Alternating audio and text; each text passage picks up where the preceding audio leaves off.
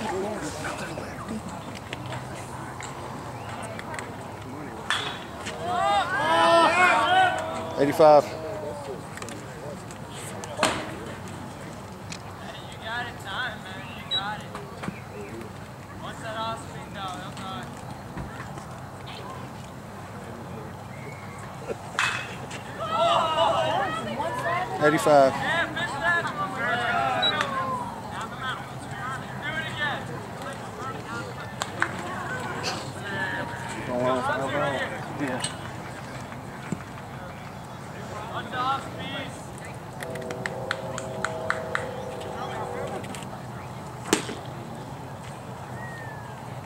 Eighty. How fast? Eighty-five.